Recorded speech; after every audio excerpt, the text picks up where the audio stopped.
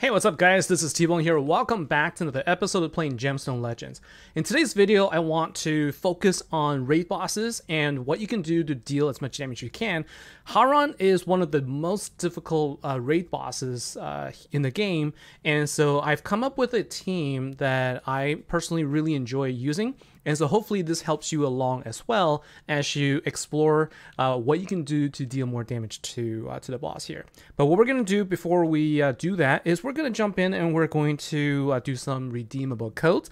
I do have three codes to give away this time because uh, Halloween is coming and the codes I have for Halloween expires on October 31st. All the codes I'm going to be giving will expire on the 31st and so I'm going to give them early so you can have, have a chance to redeem them now. The first one I'm going to give you is going to be, uh, this one is T underscore GL underscore Halloween. Okay, so this is what you type in, T underscore GL underscore Halloween. And if you confirm that, you're going to get yourself a Nightmare Potion. These are worth 500,000 gold, so uh, it's something that you can use for yourself. And then I'm going to give you one more code, then we can uh, get the third one a little bit later. So let's go ahead and redeem the second one. So the second one is going to be uh, the fact that we are doing uh, raid boss fights. So we're going to type in T underscore max underscore RB and then hits. Okay, so T underscore max underscore RB underscore hits. Go ahead and confirm that, and then you're gonna get yourself a dragon key as well as 500 apples. All right, let's jump in uh, to the boss here and talk about uh, what we're going to do to get ourselves as much damage as we can. And so we're going to take a look at the team uh, when we go and fight. And so we can see here we got Street Block, Nazjar, Etrel, Helica, and Masako. Masako is uh, one of the heroes that I really like using, and we're going to learn more about that. But before we do that, I actually do have a sponsored video I'd like to introduce, so let's go ahead and uh, check that out. Today's video is sponsored by Bloodline Heroes of Lithas. Now this game has one of the most unique game mechanics I've ever seen, and the game looks great. If you haven't tried out Bloodline yet, now's the best time to do so because the game has just had this huge update. Its new hybrid system is mind-blowing. Use the QR code that you see on the screen, or use the link that's in the description of the video below to download and try out the game absolutely free and you can get an amazing starter pack. In Bloodlines, you can create your very own legendary champion by combining the bloodline of Lycans, Dragonborn, demons, elves, and much more. And this is how it works. You customize your champions through their unique marriage system to create over 800 unique different hybrids between any two bloodlines. The children or heirs inherit the talents, the traits, and unique appearances that are passed down from the each family tree and merged into one. New fantasy characters are being released into game every month, which means that the possibilities are endless for you to seek out the best and the greatest hyper champion that suits your style. Speaking of characters with sleek designs, nothing beats this new vampire clan, the Accursed, which is coming to the game as a brand new lineage of your bloodline this Halloween. These vampires look amazing. They are the darkest and most terrifying assassins yet to be found in the world of Lithas, an undead clan that roasts alongside the dark elves from the ashes of their homeland's cataclysm. These units can not only nuke your enemy, but they're also strong enough to sustain themselves on the battlefield during longer fights. By participating in the Halloween event starting October 27th, you will be able to attain an accursed champion for free on the seventh day. So don't wait, download the game and try it out now. You can use my link in the description below or you can scan the QR code that's on the screen right now. If you use either my QR code or the link, you're going to get a special starter pack that is worth $20, uh, it, which includes 10 energy potions, 100,000 gold coins, as well as 100 diamonds. And don't forget, on the 7th day, by participating in the Halloween event, you will get a free Vampire Champion. Download the game now and build your own unique champion. All right, so let's go ahead and take a look and see what we're gonna do. Um, you know what we're gonna bring into the fight here. So I'm just gonna say we're gonna bring in Skyron our support dragon for slowdown to slow down Haaron. Uh, alternatively, we can also bring in Bastet to reduce his damage. For this slowdown, it's less important for the damage uh, damage side, so I'm going to bring in uh, Skyron to slow the dragon down. I'm also bringing in a uh, Curse Elixir because for this uh, for this setup, I, I need it. Okay, and so I'm going to probably spend a little bit more time than I normally would in fights. Like I'm going to spend more time explaining things, uh, but hopefully this is helpful because I think there are some tips and tricks here that can be very useful. Okay, uh, feel free to skip near the end where uh, you see the end result, but most of the time in the beginning I'm going to explain a little bit. So our top priority here is to keep the purple gem away from um, from Haaron at you know as much as we can. We want to try and do this while giving ourselves a little bit of advantage. And there are some situations where you want to forego matching uh, gems so that you can avoid drops. There's this uh, concept I learned from playing Othello where less is more. If you match less, then less gems will come down. There's less variance to the board, so less unexpected things happen sometimes if you match a lot of gems, the board kind of comes down and then there's all kinds of matching going on and then you end up in a situation where the dragon now has a bunch of gems to match uh, where you may not want that. So that's just something to think about. But in this case, we do need to get rid of these two batches of purple gems and let's hope for the best and see what happens. Okay, so there's no chance for the dragon to match anything and let's hope that he doesn't activate his skill, which he doesn't. But we got unlucky there. Did you see how the drop, the, the, the, despite our efforts, the drop is what killed us. But that's okay. What we're going to do is we're going to go ahead and um, we're going to make do with what we can. Okay, and we're going to just match some red gems so that we can also get uh, to activate his skill. So what we're going to see here is um, why I bring in uh, the potion. So we're going to go ahead and activate Etro first. So this whole setup depends on Masako having as much damage potential as possible. So increased uh, attack and increased critical damage.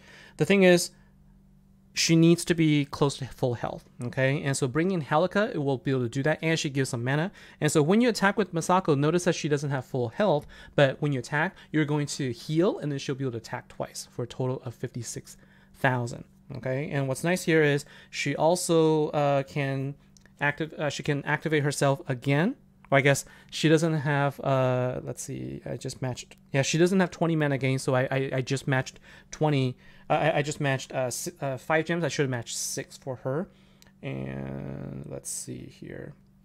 We don't have to worry about matching any of the um, purple gems right now but we do need to worry about it next turn. So this time, what we're going to do, you, you want to make sure you always activate Nazar on uh, just the turn before Haaron goes.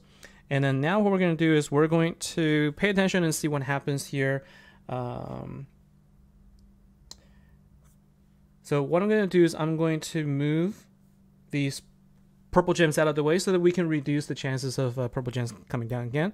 And so we have increased defense and increased attack. Okay, and so what we're going to do is I'm actually not going to use this uh, the, the potion just yet. I'm going to wait and see what happens in this next turn. And so I have I have a bunch of purple gems that's like all over the place. I can't really do anything with it.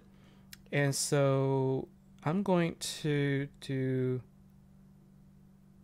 I'm actually going to choose to match this set of blue gems here, and I'm going to get rid of this uh, purple stack here. Let's see if the uh, if Haaron activates skills. He doesn't, so that's actually nice. And so you'll uh, let let's go ahead and uh, you know see how much damage we can do with Masako when the act uh, when you know uh, increased defense is on. And notice I'm not using Helica right away because what happens is I also need to use Etro, and when I use Etro, I'm going to make her lose too much health. So I'm I usually use it first, then I heal her up with uh, Helica. And so instead of 28, we down, we're now down to 20. Okay, so it's important for us to actually get rid of uh, the increased defense because we just lost about 16,000 in terms of damage there. Uh, but we need to, I think we need to wait a little bit. Okay, and so I'm going to do here is I'm going to make sure I match the red gem so I can use Haaron, uh, use Nazar again. You really have to pay attention to turns here. Okay, and I'm going to wait one turn before I use Masako's skill. Okay, and so we're gonna go ahead and use this. Again, this is where you know you do what you can, but you don't want to do any matches on the left side because you're going to increase the chances of um, Haaron getting the purple match. So I'm just gonna do a in-place swap here so nothing changes. Let's see if he activates the skill. So there you go. He starts activating the skill. If we had used our curse potion early, we would have wasted one and not be able to, uh, you know, account for this. And so instead, I'm going to use the elixir to get rid of three. The key things to get rid of is going to be the defense down. Uh, or defense up and also reflect if you have if reflect is on there you you need to use it one more time and unfortunately for us reflect is the one that did not get taken out so we need to use our third um you know use it for the third time but we do also have three stacks of cursed on it, so that's that's okay for us. All right, so I'm gonna speed up a little bit now. I think I've explained everything I can. Now is all about gameplay. So let's go ahead and uh, see how much damage we can do near the end, and I'll I'll fast forward and I'll stop just before I start using potions.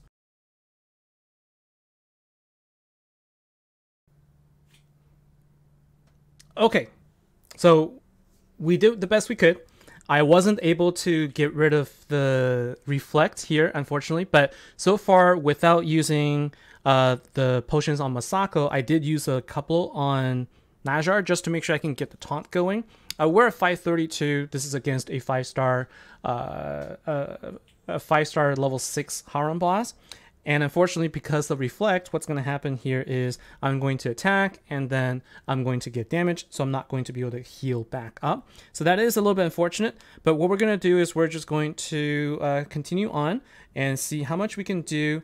Uh, how much we can do before we start using potions. So we're now on turn two. And this is really where we're going to uh, basically be at. And so I'm going to go ahead and uh, start activating. And so she's going to actually heal more than she deals. It's just that she's not going to get the double damage. Okay, but I'm going to unload all of my potions in at this point and then see how much damage we end up with. So we're basically at, you know, 20 each time instead of, it is a big drop, right? Instead of, because we, we, we, we, um, because we couldn't get our full, full, full health and, uh, Haaron has also uh, fortify, so less damage from special attacks, and because reflect, I couldn't uh, damage twice. This is why you know I was trying the best I could to actually um, activate my skills beforehand, but it Haaron activated just before uh, I, I mistimed it so in this situation, I actually lost a lot of potential damage output. I think it would have been okay for me to double this. So imagine uh, we went from 500 to 700. So that was about 200. I could have brought it up to about eight, 900,000 uh, with that if I had uh, timed myself correctly. And so that is the situation where, you know, I think that I could have done a lot better, but this is the general gameplay. 795. We're probably going to end with a little bit over 800,000. Okay, so we're at 804 and then um, 806. So reflect really helps here. We gain, we gave ourselves, you know, a little bit of extra damage just from that. Um, but you know, we're going to lose reflect at this point, and so that is going to be the end of this fight. Okay, so I just go ahead and end it off. And we are at a total of 889,000.